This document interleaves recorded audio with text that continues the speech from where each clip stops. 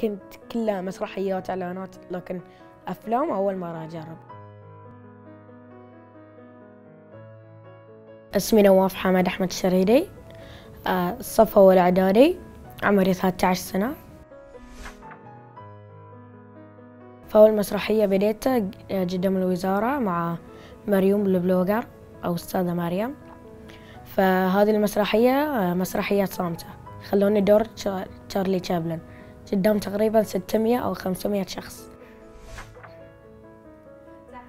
أكون راجع من المدرسة أرقد لي يعني كم ساعة. على العصر كذي أصل صلاة العصر وأنزل تحت. ساعات أساعد أهلي فأحط لهم السفرة وأقصص الخيار بعد الأذان المغرب أروح نقعد تحت كلنا ننتظر الأذان ونفطر.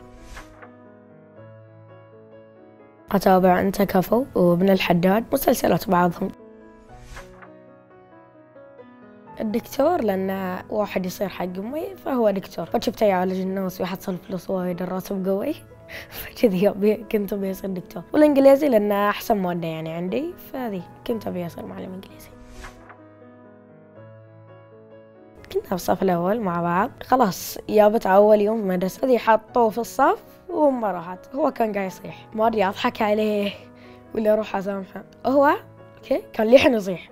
يعني في صيحة. فأنا أقول لا بس كنت تصيح مثل البنات.